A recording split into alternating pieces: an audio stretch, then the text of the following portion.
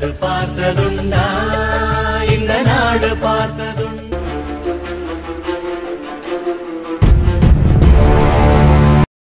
பச்சை தமிழன் நேயர்களே தமிழ்நாடு கல்வியக்கத் தலைவர் சே. நல்லசாமி எழுதிய எது காமராஜராட்சி?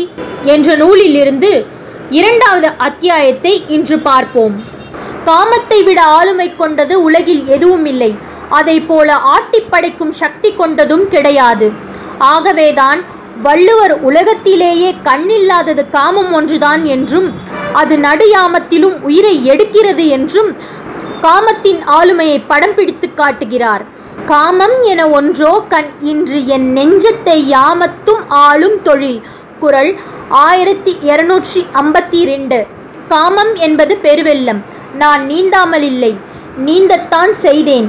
ஆனால் கரையைத்தான் காண முடியவில்லை. நள்ளிரவிலும் நான் நீந்திக் கொண்டேதான் இருக்கின்றேன்.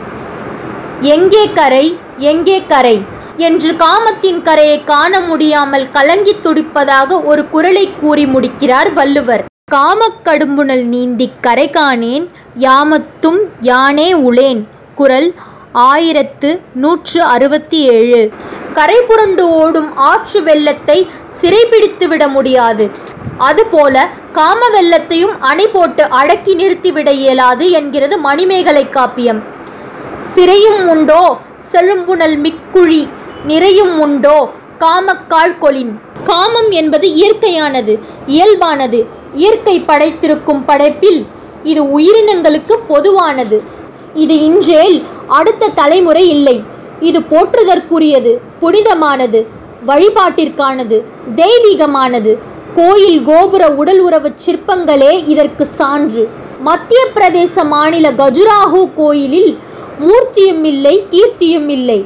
உடலுறவு காட்சிகளே வழிபடுவதற்குரிய மூர்த்தியும் கீர்த்தியும் ஆகும். மனம் முடித்து வைப்பது பெற்றவர்களின் கடமை மட்டுமன்று ஆசையும் கூட. அதன்படி தனது மகனுக்கு திருமணம் முடித்து அழகு பார்க்க நினைத்தார் அன்னை சிவகாமி. பொது தொண்டிற்கு போவதும் நின்றுவிடும் என்று நினைத்தார். பொறுப்பும் வந்துவிடும் என்று கனவு கண்டார். பெண் தேடும் படலம் ஆரம்பமானது. தாயிடம் சென்றார். இனி யாராவது என் திருமணம் பற்றி பேச்சை எடுத்தால் வீட்டை விட்டு வெளியேறி விடுவேன் என்று கண்டிப்போடு கூறினார் கர்ம வீரர் காமராஜர்.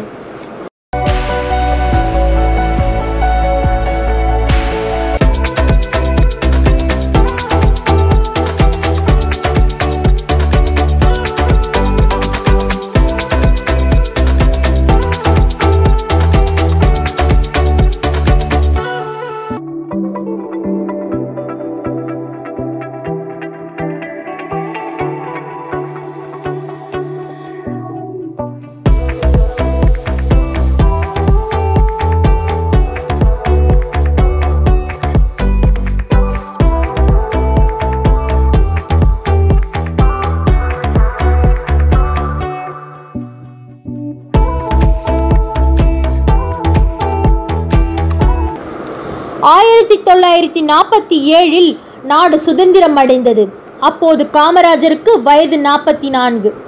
திருமண பருவத்தை தாண்டிவிட்ட அவர் திருமணம் செய்து கொள்ளவில்லை.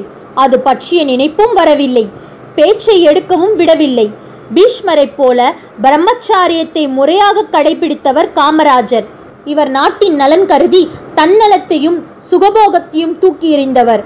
இதனால் தன்னலம் கருதாத தன் குடும்ப உறவு நலன் பேணாத நடுவுநிலை மாறாத ஆட்சியை தர முடிந்தது. காமராஜர் அவர்கள் மண்ணாசையை மறந்தவர் பெண்ணாசையை துறந்தவர் பொருளாசையை வெறுத்தவர். ஆனால் ஓர் ஆசை மட்டும் அவரை ஆட்டி படைத்தது. அது ஒரு பேராசை. நாட்டிற்கும் நாட்டு மக்களுக்கும் நல்லது செய்து கொண்டே இருக்க வேண்டும் என்பதே அந்த நல்லாசை புத்தருக்கும் ஒரு ஆசை உண்டு. ஆசை கூடாது என்ற ஆசையே அவரிடம் இருந்த ஆசை. அதை போன்றதுதான் அருமை பெரியவர் காமராஜர் கொண்டிருந்த அறிவு சார்ந்த ஆசையும். பிறப்பென்னும் பேதமை நீங்க சிறப்பென்னும் செம்பொருள் காண்பதறிவு. குரல் முன்னூற்று ஐம்பத்தி எட்டு. பச்சை தமிழன் யூடியூப் சேனலில் வர வீடியோவை தொடர்ந்து பார்க்கணும்னா சப்ஸ்கிரைப் பண்ணுங்கள் பக்கத்தில் உள்ள பெல் பட்டனை கிளிக் பண்ணுங்கள்